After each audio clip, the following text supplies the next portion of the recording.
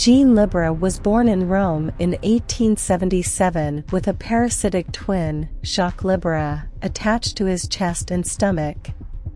Jacques had his own head, torso, and limbs, but he shared a circulatory system with Jean.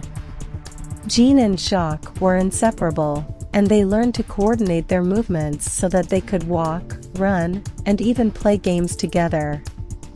They were a popular attraction at sideshows and circuses, where they were billed as the double-bodied man. In 1907, Jean married a woman named Teresa, and they had two children together. He continued to perform at sideshows and circuses until he was in his 60s. He died in 1932 at the age of 55.